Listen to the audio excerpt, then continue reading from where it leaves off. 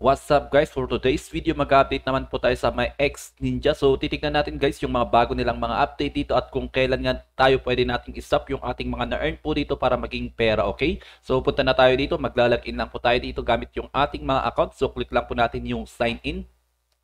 Take note lang dito guys, kailangan po natin ng Twitter account para makapag-login nga tayo dito. At the same time, kung gusto nyo gamitin yung aking referral code, ilalagay ko na lang siya sa ating video description or dito sa ating comment section para hindi na kayo mahirapang maghanap, okay? So dito nga guys, ganito yung magiging itsura ng interface ng kanilang application or yung kanilang NFT game. So dito makikita natin yung farming. So as of the moment, nag-farm po tayo dito ng 0.3663 uh, every hour. So ayan, so as of the moment, meron na po na tayong na-earn na 16 at nandito nga meron tayong ninja po dito. Okay? So meron akong dalawang ninja po dito at yun nga nakakapag-earn tayo dito ng every hour.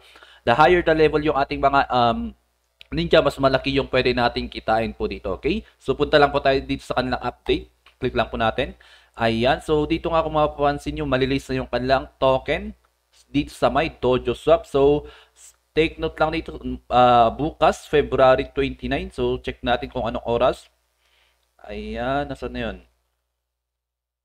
Dojo Trading. So, click lang po natin. So, 8 a.m. February 29, pwede na nating i-trade or pwede na nating uh, i-swap yung ating mga XNG token sa uh, dito sa may Dojo Swap, okay? So, hindi ko lang sure kung ano yung uh, magiging conversion ng Element to XNG. Antayin na lang po nating ilabas po nila yung bago nilang mga update, okay? So, at the same time pala guys, meron silang mga bagong quest po dito. Click lang po natin yung quest. Ayan, so dito meron silang Dojo Swap XNG Launchpad kailangan po nating i-complete yung mga tasks na to at makakapag-earn na tayo dito ng chest. So, pwede tayong makakuha dito ng um, LM token or mas iba pang mga item. Di ko lang sure kung ano pang yung mga pwede nating makuha po dito, okay? So, back lang ulit natin. At dito naman sa kanilang market, Sorry. So dito naman sa kanilang market pala guys, pwedeng pwede po tayong bumili dito ng mga ninja. Pwede tayong bumili dito ng level 5 ninja directly. Pwedeng level 10, level 9, level 13, level 17, level 19. So yun nga, mas malaki, mas higher level yung ating mga ninja. Mas malaki yung pwede po nating ma-earn. At yung tips ko na lang po dito guys, mas uh, maganda mag-focus na lang po kayo sa isang ninja. Ipa-level up nyo na lang siya para mas malaki nga yung pwede nating ma-earn po dito. Okay? So dito naman sa ating mga quest, meron tayong mga daily quest po dito kung saan pwede tayong makapag-earn dito ng extra income. So, click lang po natin yung quest. Daily Dojo Drill. So, i-claim lang po natin. Nasa na yun? So, hopefully, maklaim natin since day 6 natin or pang day 6 natin naglalaro ng X Ninja. So, ito, pag day 7, pwede tayong makapag-earn dito guys ng 10 LM. So, take note lang po dito, hindi po natin siya i-convert. Ito lang is pwede natin gamitin pambili ng mga foods dito sa kanilang market. Ayan. Buy food dito. Ayan.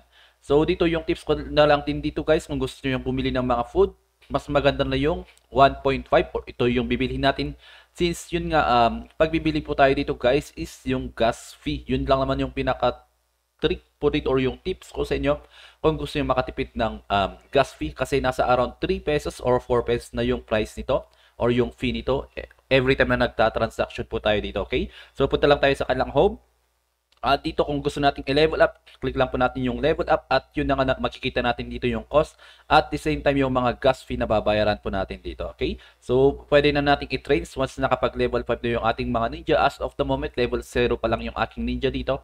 Kaya yun nga, hindi ko pa siya pwedeng i-train para makapag-earn nga tayo dito ng additional na mga elements. Okay? So, dito naman sa ating profile, kung gusto nating mag-deposit, click lang po natin yung deposit.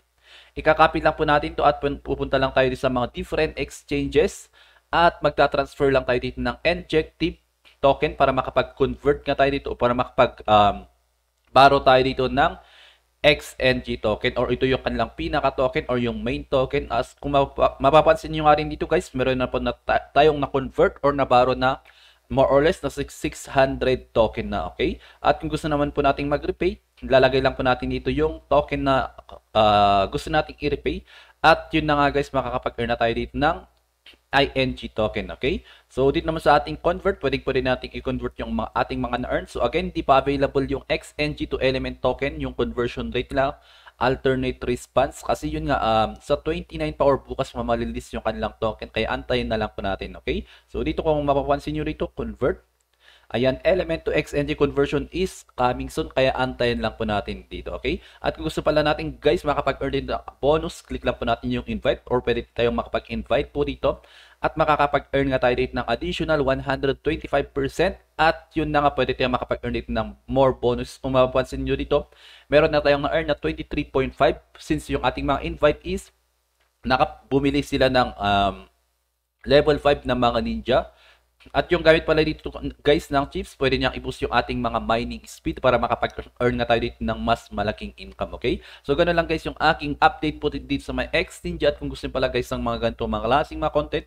paka-comment naman sa ating comment section at balik na, palike na din ang ating video at pa-click na rin yung subscribe button para maging updated ka na kung meron tayong mga bagong upload dahil sa ating channel. Nag-share po tayo dito ng mga free upcoming airdrop at syempre nagre-review tayo dito ng mga NFT game kung saan pwede po tayong kumita online it's either uh, libre man or kailangan ng pukunan po dito. Okay? So, yun lang. Peace!